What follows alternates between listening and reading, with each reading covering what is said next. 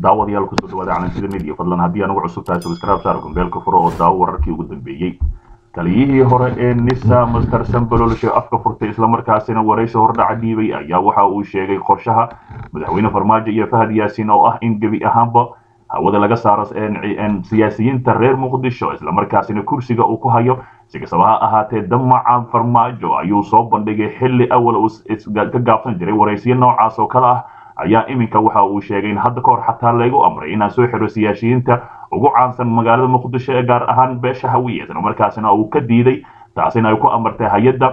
markaasina ay ku amartay nisa iyo madaxweyne farmaajo. Taliyahani oo fadeexad weyn soo bandhigay ayaa waxaa ka mid ahay hadaladiisa oo yidhi taliyihii hore ee nisa cabdulaahi sanbaloshe oo afka furtay islamarkaana sheegay xog xasaasi ah iyo damaca farmaajo iyo fahad yaasiin waraysi hordhac ah uu bixiyey ex taliyana sanbalolshe ayaa waxa uu sheegay in fahad yaasin uu yahay aayatullaha soomaaliya farmaajona meesha uu ku hayo islamarkaasina ay tahay damiciisa damac. Aan marnabo qof soomaaliyeed u aqbali karin.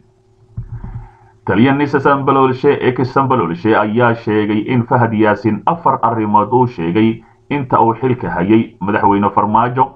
waxa uu yidhi madaxweyne farmaajo inuu soo celiyo ama uu xukunka ku hayo si dadban ama qasab ah si ay taasina u dhacdo in siyaasiyiinta xamar mid la xiro mid ceeb lagu furo mid la dhaho shisheeye ayuu u adeega ama shisheeye kalkaal waaye laga dhigo dhammaantood islamarkaasina qaar firdha iyo qaar la xiro laga dhigo gabaantood ayuu yidhi sidoo kale waxa uu raaciyey in siyaasiyiinta xamar ka soo jeedo gebi ahaantoodba meesha laga saaro ama la baabi'iyo dhaqaalahooda ayuu ula jeedaa master sambroshe oo sheegay in dhaqaalahooda la baabi'iyo iyo laga bilaabo laga bilaabo hormuud ilaa bajaaj dhammaan wixii ganacsi ah la burburiyo islamarkaasina aysan helin meel ay gargaar iyo taakuleen siyaasiga uu ka helo. Taliya sambololshe waxa uu kale uu sheegay in mid farmaajo madaxweyne farmaajo ay caddahay keligiistalanimo ama madaxtinimada inta uu hayo kursiga uu yahay nin garmaqaate ah cid uu war ka maqlaayo oo aan fahad yaasiin ahayna ma jirto islamarkaasina uu yahay madaxweyne madax adag islamarkaasina doonayo keligiis talisnimo. Wuxuu yidhi waxa uu yidhi taliya sambalolshe waxaan ka cabsi qabaa sidii maxamed siyaad barre camal in ay dowladdan la soo dhoodhoobay ay gacantiisa ku burburto sidii siyaad barre oo kale maadaama uu yahay keligiistalinimo islamarkaasina uu madax adag yahay. Cid kalena uu tala ka aqbalinin taliyaha hadalkiisa sii watay ayaa yidhi ka soo ka soo qabo aniga hadda ka hor waxaa lay dhahay soo xir madaxweyne xaaf waxaana diiday waana diiday ayuu yidhi. Sidoo kale waxaa lay dhahay siyaasiyiin caan ah oo ka soo jeeda reer muqdisho dhammaantood soo xir oo soo xir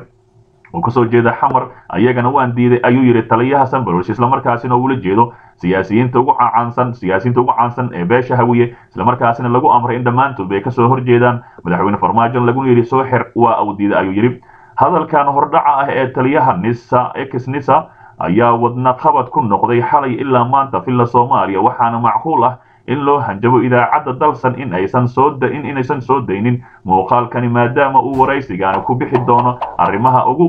arrimaha u qarsoon ama u qarsoon farmaajo iyo fahad yaasiin. Fashilkii adduunka ayaa dhacay islamarkaasina taasi cid kasta oo daawato waxay dhihi doontaa waa ceeb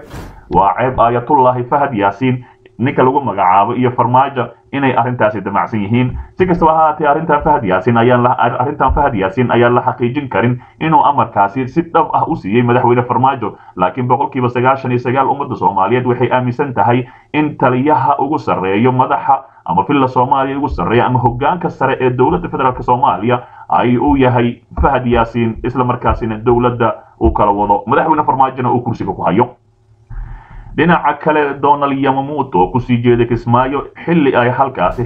xiisad halista ka jirto. Safiirka maraykanka ee soomaaliya ambasador yamamuuto ayaa saacadaha soo socda ku wajahan magaalada kismaayo ee caasimada gobolka jubbada hoose. Halkaasi uu wadahadallo kula leeyahay madaxweynaha dowlad goboleedka jubbaland axmed islaam axmed madoobe islamarkaasina oo kala hadli doona xiisada sii kacsan gobolka gedo sida ay ogaatay warbaahinta qaar yamamuuto ayaa waxaa safarkani ku helin doona taliyaha maraykanka africa africom stephen iyo xubno kale oo caalami ah wararka ayaa sheegaya in wafdiga uu hogaaminayo safiirka maraykanka ee arrimaha soomaaliya axmed ayaa axmed madoobe ay kala hadli doonaan xaaladda cakiran ee jubbaland gaar ahaan xiisada maamulkaasi kala dhexeeya dowladda federaalk soomaaliya ee xaaladaasi gobolka. Sidoo kale wararka ayaa intaasi ku daraya in labada dhinac ay ka wada hadli doonaan dagaalka ka dhacay dagaalka ka dhanka al-shabaab ee ka socda gobolka jubbooyinka islamarkaasina la doonaya in leesgarabsado oo halkaasi laga saaro. Ammaanka kismaayo ayaa sidoo kale saaka si weyn loo adkeeyey iyadoo qabanqaabadiisa ugu dambeysay ee lagu jiro soo dhoweynta wafdigaasi laga dareemayo magaalada kismaayo. Safarka yamamoto ayaa ku soo aadaya iyadoo haatan dhaqdhaqaaqyo u dhexeeya dowladda iyo jubbaland ay ka socdaan gobolka gedo koonfurta soomaaliya islamarkaasina qoryaha la isku haysto. Si kastaba ha ahaatee xiisada ayaa washwash ah lama oga wixii halkaasi ku soo kordhi doona iminkana warar warar hor warar oo deg deg ah ayaan arkaynaa lashay la leeyahay. Kismaayo xabad ayaa ka socota fadlan la joog dhinaca kale abaabul kulan albaabada u xiran oo looga hadlay amniga oo ka dhacay degmada maxaas ee gobolka hiiraan. Degmada maxaas ee gobolka hiiraan waxaa kulan ku yeeshay saraakiisha ka tirsan ciidamada amisom ee ku sugan degmadaasi iyo mas'uuliyiinta maamulkaasi degmada waxaana halkaasi guddoomiye ka ah gudoomiye degmeed. Soomaaliya kan ugu da-da yaraa waa wiil aada u dhalinyaro ah kulanka ayaa waxaa looga hadlayay adkeynta ammaanka guud sidii ay iswada jir ah uga wada qayb qaadan lahaayeen ciidamada amisom iyo kuwa hirshabeelle sidaa uu sheegay guddoomiyaha degmada maxaas cabdi muumin cilmi. Saraakiisha ammaanka ee degmada maxaas ayaa ka wada hadlay adkeynta ammaanka guud maadaama ay soo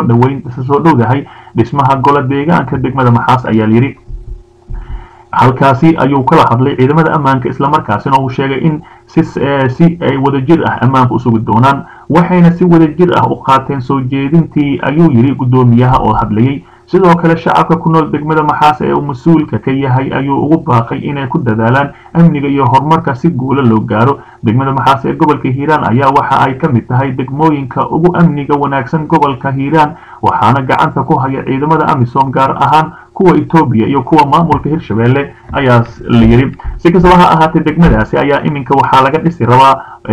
golaha deegaanka oo hirshabeelle maalmahanba laysku haysta islamarkaasina khilaaf xoogan oo soo dhexgalay dhinaca kale sheekh shaakir oo kulamo ka dhan ah nidaamka qoorqoor ka wada degmada dhuusamareeb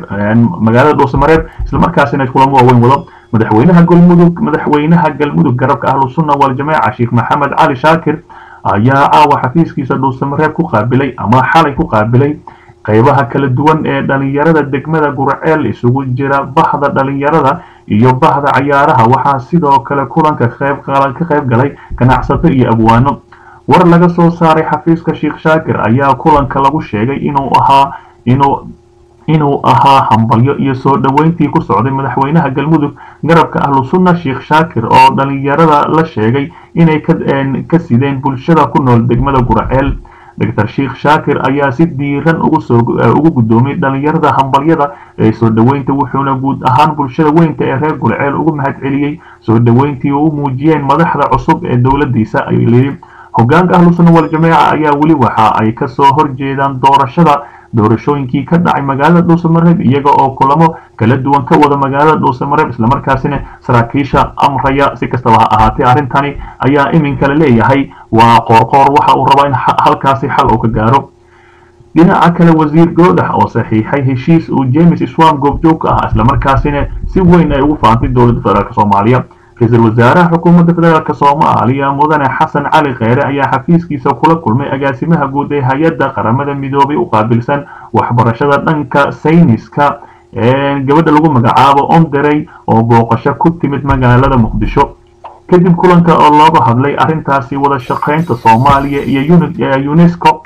ayaa wasiirka waxbarashada cabdulaahi goodax bare oo qayb ka ahaa shirkii iyo anderey waxaa kala saxiixdeen heshiis soomaaliya unesco isaga kaashanayay horumarinta waxbarashada iyadoo la adeegsanayo tiknolojiyada casriga ah ayaa lagu yidhi wasiirka wasaaradda waxbarashada ayaa munaasabada saxiixay ayaa waraaqihii saxiixay heshiiskana ka sheegay in soomaaliya ay aaminsan tahay in dhaqanku qayb ka yahay sooyaalka bulshada iyo jiritaanka islamarkaana muhiim u yahay horumarka iyo hiigsiga mustaqbalka isagoo intaa raaciyay in soomaaliya u taagan tahay xoojinta xiriirka iyo wada shaqaynta kala dhexeeya unesco iyo soomaaliya ayaa unesco xubin ka ahayd laga soo bilaabo kun sagaal boqol iyo lixdankii. Wasiirka ayaa intaasi ku daray in ku biirita soomaaliya ee ceshidiyada unesco ee kun sagaal boqol toddobaatan iyo labadii iyo laba kun iyo saddexdii waxay horseed u noqon doonaan in la dhowro goobaha taariikhiga ah ee dib loo nooleeyo haddii dhaqmeedkii waxaa layidhi hiddo dhaqameedkii laguna daro diiwaanka caalamiga ah ee goobaha taariikhda ah ee caalamka ayaa yidhi si kastaba ha ahaatee heshiiskaasi ayaa waxaa goobjoog ka ahaa. Ra'iisul wasaare xasan cali kheyre islamarkaasina aad ugu faraxsan yihiin halkaasina la saxiixay. Si kastaba ha ahaatee arrintaasi ayaan halkaas ku soo gabagabaynaynaa ee fadlan nala joog daawo warbixinadayna xiga